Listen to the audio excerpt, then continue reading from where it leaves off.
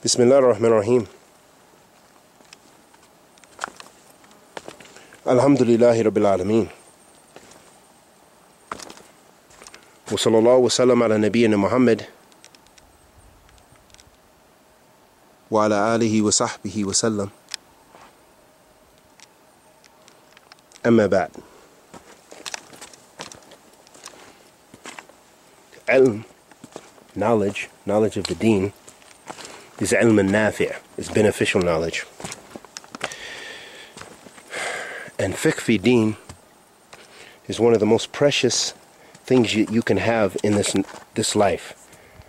As we see look look at the beauty that we see before us. This simple place and Allah has created all of this.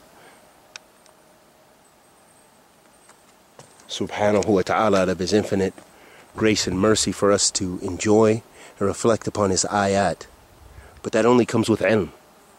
Meaning that the person who is jahil who looks at this may just see the the green uh, trees and may may enjoy it, may maybe not, may perhaps not even like a place like this. And it's not a condition that you like a place like this, but we're saying that the person with ilm and fiqh fi deen can reflect on the signs of Allah subhanahu wa ta'ala when they see the ayat kawniyah, when they see the those things, the signs in Allah subhanahu wa ta'ala's creation of His majesty. And that these things should lead you to understand that Allah subhanahu wa ta'ala is the only one worthy of worship. That all of this was not created out of falsehood, out of batil,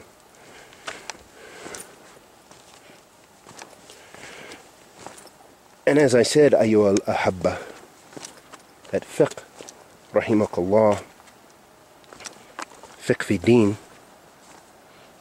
Allahu Akbar, Allahu Akbar, is something that Allah subhanahu wa ta'ala favors some of his slaves with.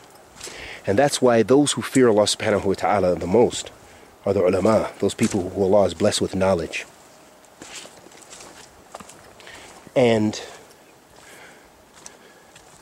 this fiqh alhamdulillah,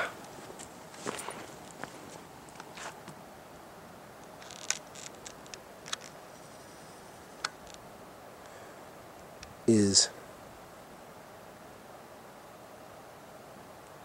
given to Allah subhanahu wa ta'ala's beloved servants.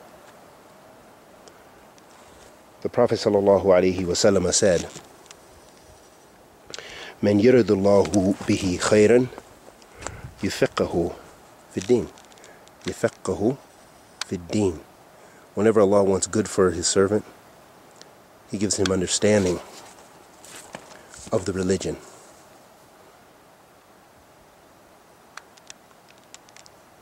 So fiqh fi deen is a gift from Allah subhanahu wa ta'ala. And it's a sign that Allah wants good for the slave. The ulama, they say that the person who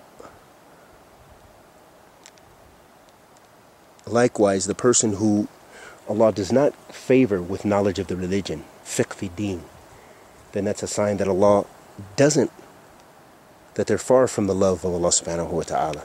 وَعِيَاذَ بِاللَّهِ مِنْ ذَلِكَ And may Allah subhanahu wa ta'ala bless us with fiqh deen and ilm nafi'. ورزق طيبا وعمل متقبلا. وصلى الله وسلم على نبينا محمد وعلى آله وصحبه وسلم.